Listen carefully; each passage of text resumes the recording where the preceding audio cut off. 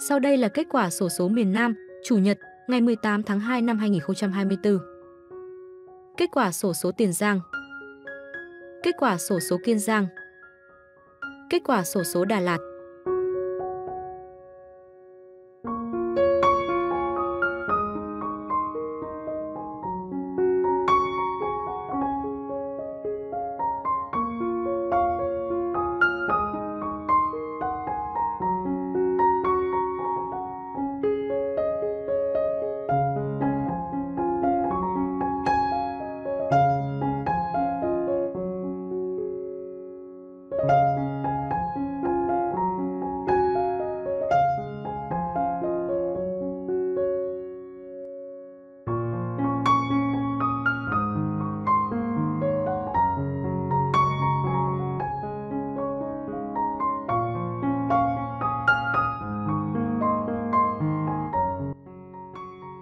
Kênh sổ số 3 miền, kết quả sổ số hôm nay, xin chân thành cảm ơn quý vị và các bạn đã theo dõi kết quả sổ số ngày hôm nay.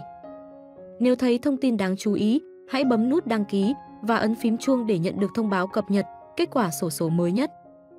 Và đừng quên bấm nút thích bên dưới để ủng hộ kênh phát triển hơn. Chúc mọi người sẽ được thần tài gõ cửa trong một ngày gần nhất. Mến chào và hẹn gặp lại!